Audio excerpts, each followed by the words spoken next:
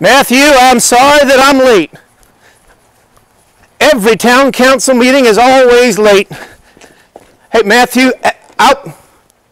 Matthew, hold on. We've got visitors. Now, I'm going to look, I'll be up there in a moment. I will look at, I'm not going to the second floor, Matthew. That plaster dust will get all over this suit and Georgie will kill me. Just a moment. Well, good evening, ladies and gentlemen a little surprised to see out here this hour. Uh, not that the park closes, you're welcome to be here, just not so used to seeing this many folks around. I think you may have doubled our visitation this week. Uh, pardon my manners, my name is Hubert Gurney. I have the honor to be the first superintendent here at Appomattox Courthouse National Historical Monument, one of the newest additions to the National Park Service.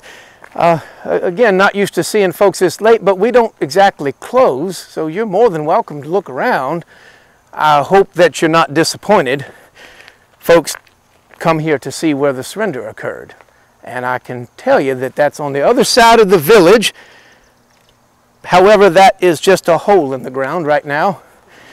That may disappoint you. It doesn't disappoint me. In fact, I'm excited about it. We worked hard to have that hole in the ground. I got this job two years, three years ago, back in 40. We had an archaeologist come down and in fact, the same men that are in this building working on that plaster upstairs, they're, they're a hard-working lot. These, these gentlemen are veterans from World War I, and they have helped us dig out the foundation of the original McLean house. It is my vision and of my colleagues that if you were to come back here in two, maybe three years, that you could actually walk into the McLean house, into the very parlor where General Lee met General Grant for the surrender meeting. Wouldn't that be spectacular? I should warn you folks before we go any further that you might want to be careful where you're standing. You see, I've noticed that the folks around here tend to drive awfully fast. Uh, this straightaway that you see off this direction uh, gets the better of people's imagination and they come here entirely too fast. Now, they'll change their tone when they hit this spot where the road splits, and that can be entertaining, but uh, I don't think you'll see a lot of traffic this time of evening, but if anyone sees headlights or hears a motor, please speak up and we'll stand clear. The, um, the building up for top of the hill there is the Clover Hill Tavern. Now for the students of history among us, you might know that that's where the parole passes were printed for the Confederate soldiers. If you'll permit me a little selfishness though, I actually see a building that could one day be a museum. So that when folks like yourselves come visit, you have a place to start. Learn about the park, learn about the village, and then go over and see where the surrender actually occurred. And if I might add, up there on the second level, maybe an office for myself and my colleagues, a place where we could receive mail, read correspondence, write correspondence, and plan. We have lots of plans. In fact, the, the, men upstairs, during the daytime, they're down there south of the village and they're clearing out trees and grading out and grinding up rocks, making a new road if we're going to invite people to come to this park and see an 1865 village, they can't very well be dodging automobiles. I think when you come back in a few years that the cars will actually drive around the village. Also too, why not, and I know this may seem like a stretch, but why not rebuild the courthouse building right where it was? And then maybe people would stop asking why the road splits and goes around this crazy circle.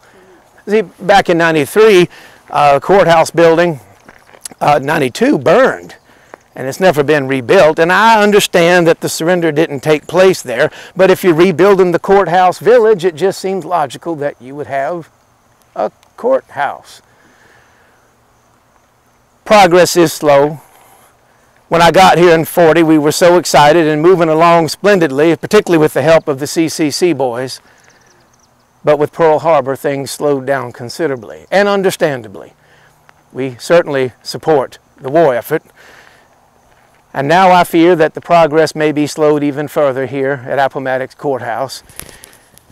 It's a little strange to me how we can behave to one another sometimes, but no one in Appomattox knows what's in this envelope except for myself.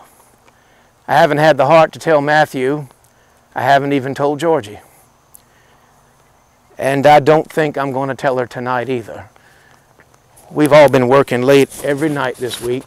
When I share these contents with her, it better be at a proper time when we can talk about it. You see, that letter tells me that on December the 3rd at 7.15 in the morning, I am to report to Richmond for a physical. And if I pass that physical, I will be in the United States military. Don't get me wrong, I'm more than proud to do my share and will stand up as well as the next man. But you understand that this, uh, this may slow, slow progress here in our little village. I hope that if you come back in two or five or I don't know how many years, most of my life I've studied history, and most of that is studying war. And I've learned that you never really know when they're going to end. But I hope that when you come back that I'm here and that I can take you around this village and show you these things myself. It would be my pleasure. But in the meantime, if you decide to explore this evening, do be careful. There are lots of holes out here. And most of all, please, don't get hit by a car. Good evening.